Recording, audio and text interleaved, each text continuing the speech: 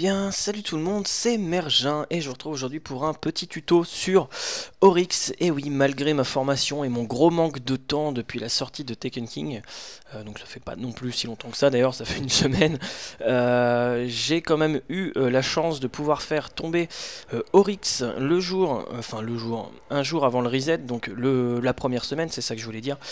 donc je voudrais remercier Scardro et Tsunami, donc deux français, Scardro vous le connaissez bien, et du coup Nick, Xrava et euh, Iceman qui sont trois américains. Donc euh, voilà, euh, une petite team mi-américaine, mi-française, donc c'était plutôt sympa. J'étais à un niveau de lumière à 289, il y avait Nick qui était à 282, tous les autres oscillaient entre 302 et 309 pour Scardro. Donc globalement, ça a été plus ou moins simple. Oryx n'est pas compliqué, oui, clairement, je vous le dis, Oryx n'est pas compliqué. Trouver la strat a été compliqué, ça oui. Euh, pour, euh, pour ma part, vous m'avez vu en live ce week-end, on a essayé de le trouver, mais on a dû abandonner parce que justement on avait un manque de stuff. Moi, vu que j'ai pas eu le temps de euh, beaucoup jouer, forcément ma formation me prend énormément de temps, je rentre, j'ai du boulot chez moi, enfin j'ai pas mal de choses, donc j'ai pas beaucoup de temps de jeu.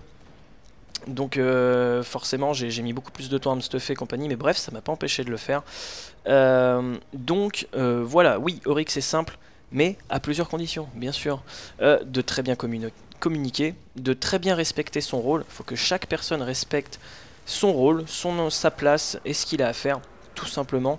Et euh, du coup, avoir un équipement quand même plutôt euh, élevé. Moi, je conseille minimum 295, ou alors vous pouvez être comme moi un peu plus faible, mais du coup, les autres doivent être un peu plus élevés. Voilà, tout simplement. Euh, là, vous ne verrez pas le gameplay en tant que porteur, quand vous m'avez vu en live, j'étais tout le temps le porteur, parce que Tsunami, bah il a rodé le truc avec Scardro, tout ça et compagnie, donc c'était plus simple de faire euh, ce rôle-là, mais en même temps c'est pas plus mal, euh, parce que le rôle du porteur c'est pas très compliqué, il doit passer de plateforme en plateforme quand il passe dans l'autre monde, entre guillemets, euh, nous on appelait ça dans le turfu, donc voilà, il doit suivre un, chemin bien particulier pour récupérer une espèce de relique qui lui permet de revenir au sol. Bon, du coup, pour la strat en elle-même, vous avez commencé à voir, c'est pas super compliqué. Vous avez du coup cette fameuse salle un peu en rectangle avec 4 plaques quasi à chaque extrémité.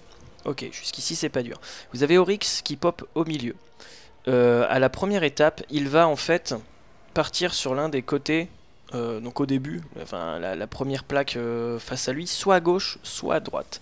Et en fait, il va taper du poing sur une des plateformes et en fait, ça nous indiquera la première, plateforme sur laquelle il faut monter. Car oui, en fait, euh, c'est comme pour les filles d'Orix, le boss qui est juste avant. Il y a un délire de plateforme à activer dans un certain ordre. Et en fait, c'est très très simple. C'est dans le sens inverse des aiguilles d'une montre par rapport à celle qui l'a frappé c'est un petit peu compliqué, mais euh, enfin oui et non. En fait, donc Oryx va taper sur euh, la plaque. Là, vous allez voir. Regardez, on, va le faire en même temps. Donc moi, en fait, j'avais tout le temps cette plaque ici, et en fait, euh, Oryx, voilà, vous avez vu là, on l'a vu un petit peu de loin. Il a frappé la plaque, et en fait, du coup, dès qu'il a frappé cette plaque, il y a une espèce de relique qui apparaît qui permet de passer dans l'outre-tombe. Donc, Tsunami monte sur la relique, il passe dans l'outre-tombe, il est suivi par Iceman qui active la plaque, et en fait, en activant cette plaque, il active les plateformes dans l'autre monde entre guillemets. Et en fait, une fois qu'Iceman est monté sur la plaque, Xrava peut y aller. Une fois que Xrava est bien sur sa plaque, je peux aller sur la mienne. Une fois que je suis bien sur ma plaque, Nick peut monter sur la sienne. Dès que euh, le porteur de la relique est dans l'autre monde, il va passer à des espèces de checkpoints qui sont au-dessus des plaques, tout simplement. Dès qu'il passe au-dessus de chaque plaque, ça fera popper un ogre ce qui s'appelle le Light Eater, donc le mangeur de lumière, je présume en français.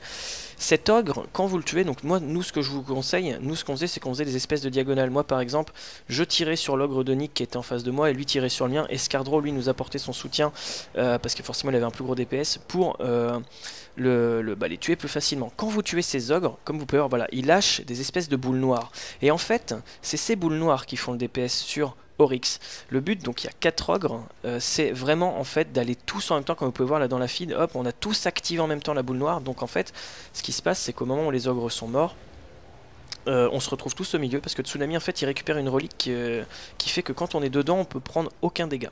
Voilà, donc on est invincible, mais on peut tirer au travers, comme la relique sur Athéon par exemple. C'est un petit peu le même principe et vous avez ça sur les autres boss du raid. On retrouve beaucoup cette mécanique dans ce nouveau raid. Donc Tsunami a récupéré la relique, on se retrouve tous au milieu, tous les ogres sont morts et ils ont lâché ces espèces de boules noires. Là, Oryx, il va commencer à, à s'énerver entre guillemets, il va ouvrir son ventre Et en fait, il va y avoir une espèce de bulle de lumière au niveau de son ventre et il faut shooter très très très rapidement. Donc vous, comme vous avez pu voir, nous, comme, pardon, comme vous avez pu voir, on met une bulle de lumière pour nous aider pour le DPS. Et donc on le défonce. Moi, ce que je vous conseille, c'est que j'ai un sniper avec 4 balles, je tire mes 4 balles de snipe et pour pas perdre de temps, parce qu'il faut être super rapide, je switch directement sur mon, mon arme principale. pardon. Comme ça, en fait, ça évite de perdre du temps à recharger parce que le DPS, il doit se faire très très très rapidement, comme vous pouvez voir depuis le début. Euh, vous avez vu, hein, dès qu'il ouvre son truc, on shoot tous sans, sans, hésiter, donc vous pouvez utiliser vos super, vos trucs. C'est pas un problème. Une fois qu'on a fait cette étape, du coup, en fait, c'est pour empêcher Dorix de taper dans ses mains et de tous nous tuer. En fait, ça le stun, enfin, ça les... ça l'éblouit, entre guillemets, ça le... ça le stop dans son truc. Là, en fait, ce qu'on fait, c'est qu'on fait... Euh, un timer de 5 secondes. Donc on avait Iceman qui nous comptait jusqu'à 5. Et en fait, on a 5 secondes pour aller, donc on avait un rôle désigné. Chacun d'entre nous, on avait un rôle désigné pour une boule, donc généralement c'est l'ogre qui nous était attribué. On rentre tous dedans en même temps, c'est pour ça qu'il y a un timer. On a fait en sorte qu'à 1, on soit tous devant la boule, et dès qu'il dit go, on rentre tous dedans. Vous allez le voir, on va le refaire de toute façon.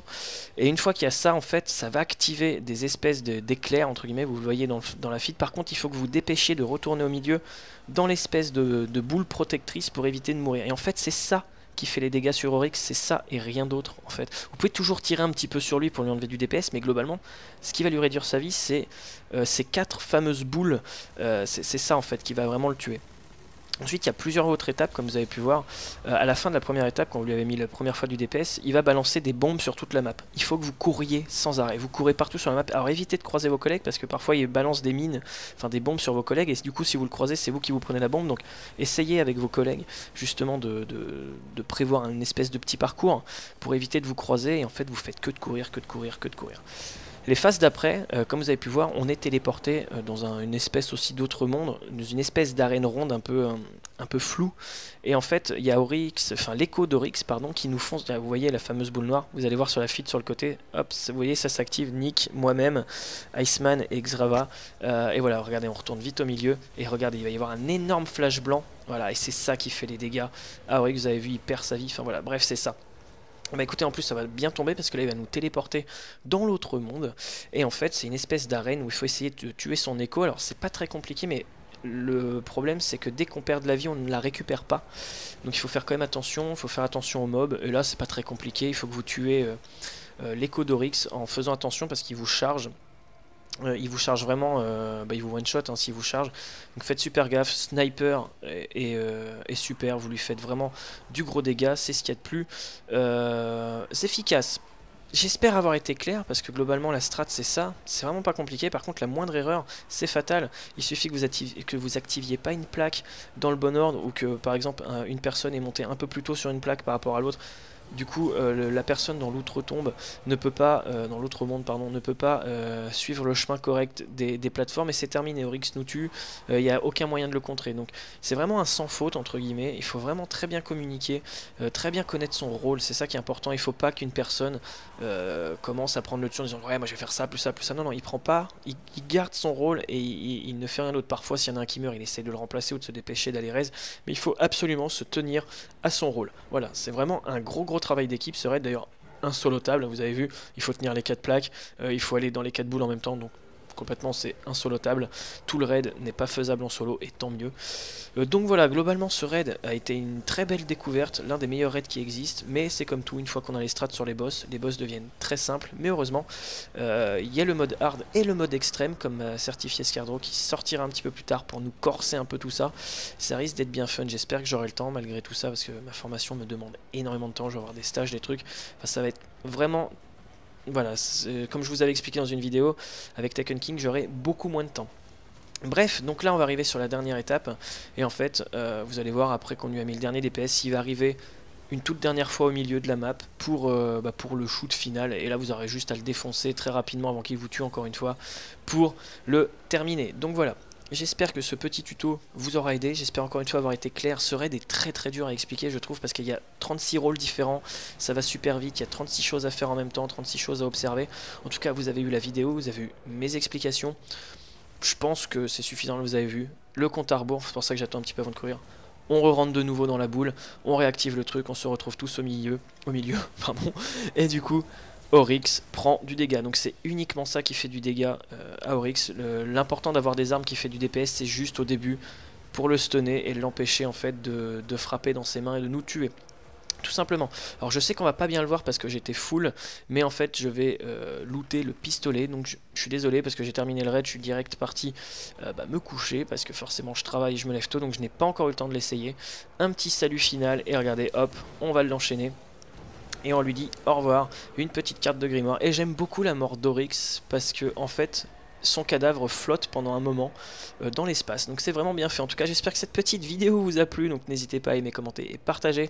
Moi, je vous retrouve très bientôt. Cette vidéo sortira pour le, pour le reset. Donc j'espère qu'elle pourra vous aider. En tout cas, amusez-vous, prenez soin de vous, prenez soin des autres. Profitez de votre jeu, rigolez de vos fails. Et surtout, amusez-vous. Ce n'est qu'un jeu vidéo, les gens. Bref, éclatez-vous, tout simplement. Je vous fais à tous plein de gros bisous et je vous dis à très bientôt. Allez, ciao tout le monde.